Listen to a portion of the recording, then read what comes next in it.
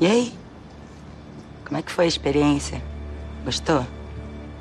Ser revistada, fila no presídio, é bom, né? Meu namorado não tá mais na cadeia. Ah, não tá mais? Saiu? É muito bom ter costas quentes, né? Não, ele não saiu porque tem costas quentes. Ele saiu porque não é criminoso. Ah, não é criminoso.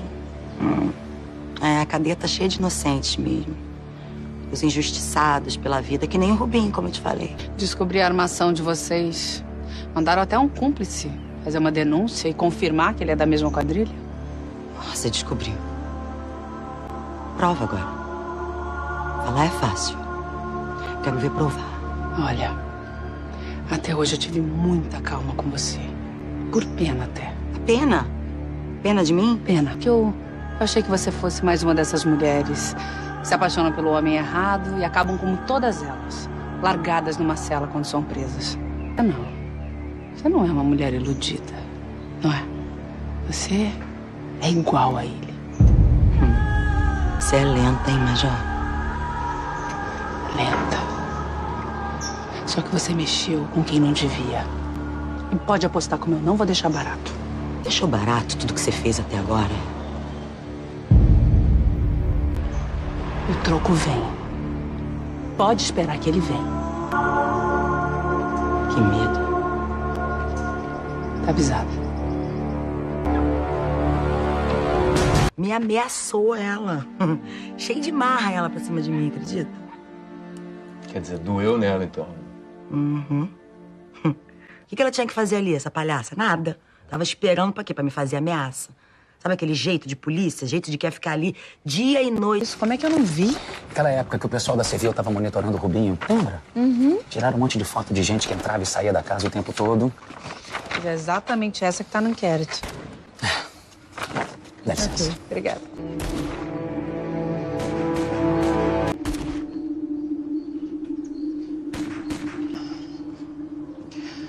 Por favor, gostaria de falar com o Dr. Caio Garcia. Major Geisa. Major Geisa. Sim? Vir aqui? Claro. Claro que sim. Bom, por mim marcado então. Até lá. Tchau. Caio. Ela publicou isso aqui na internet? Pois é, ela tem publicado coisas assim.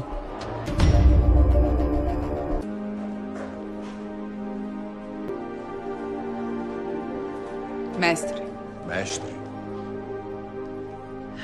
o senhor tem todo o direito de se sentir traído. Mas eu queria dizer que eu também me senti assim.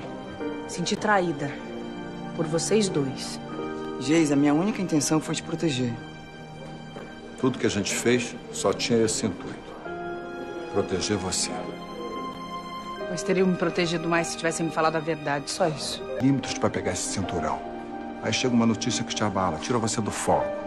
Só que você tá por um soco para nocautear seu adversário. O que, que a gente faz? Chama o juiz, interrompe a luta, te dá a notícia e a luta volta? É isso mesmo? Você acha que esse nocaute vai sair?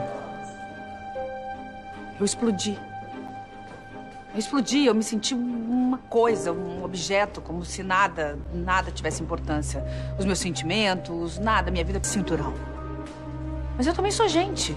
Descontrole emocional e insegurança não fazem campeões. Nunca fizeram. Mas eu não estava insegura. Claro que estava. Todo mundo sente aquele friozinho na barriga na hora do vamos ver como é que é. Você não fez o que fez só por causa do Zeca. Você usou o Zeca como desculpa para não admitir a falta de confiança em você. Não, não, isso não é verdade. Eu nunca duvidei do meu preparo, nunca. E, e eu sei, eu tenho certeza que aquele cinturão um dia ia ser meu. Ia.